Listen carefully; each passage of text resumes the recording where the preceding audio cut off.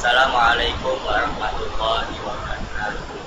Nama saya Muhammad Ramadan, mahasiswa angkatan 2016, program studi Akidah dan Filsafat Islam, Fakultas Usul dan Pendidikan UIN Wali Songo Semarang.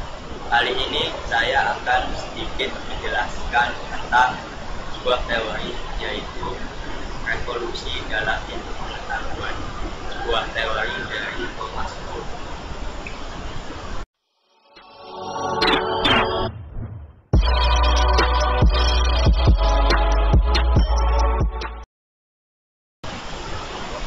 Pada zaman modern saat ini banyak penemuan-penemuan teori yang sangat mempengaruhi dalam proses ditambah lagi dengan adanya penemuan-penemuan baru sehingga hal-hal tersebut dapat menimbulkan suatu revolusi yang dalam bidang misalnya dalam bidang pendidikan ekonomi sosial budaya dan lain-lain.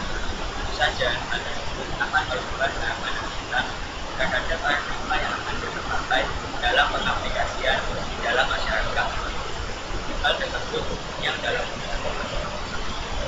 teori menjelaskan bahwa adalah suatu atau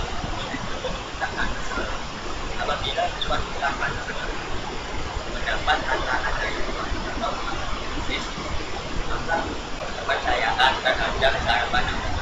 terjadi pergeseran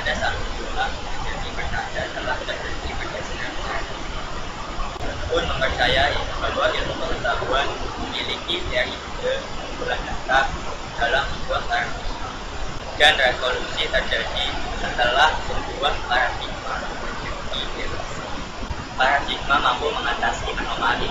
Namun demikian ketika banyak anomali-anomali yang ada maka paradigma tidak bisa dipertahankan ketika paradigma mengalami pergeseran. Maka itu disebut revolusi. Demikian yang bisa saya sampaikan. Mohon maaf apabila masih